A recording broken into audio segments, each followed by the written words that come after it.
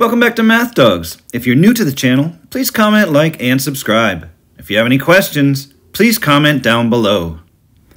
Problem number 7 says simplify the following. 3 cubed plus 12 divided by 3 minus 5 squared minus 16 divided by 2 to the fourth power.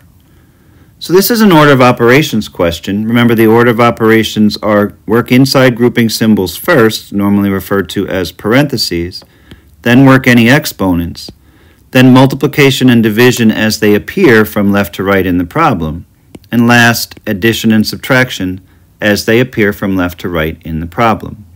So I'm going to start with my grouping symbols. I have parentheses and I have 3 minus 5, and 3 minus 5 is negative 2. So I would have 3 cubed plus 12 divided by the negative 2 inside the grouping symbols squared minus 16 divided by 2 to the fourth power. Since that step is done, I can move on to my second step, which is to work exponents. So I have an exponent 3 cubed, negative 2 squared, and 2 to the fourth.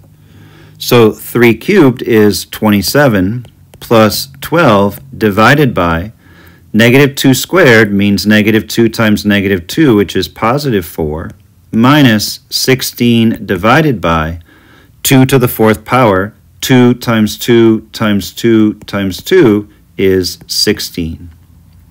Next step, I'm going to work multiplication and division as they appear from left to right. So I have 12 divided by 4, which is 3, and 16 divided by 16, which is 1.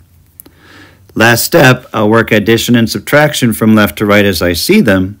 27 plus 3 is 30, and 30 minus 1 gives me my simplified answer of 29.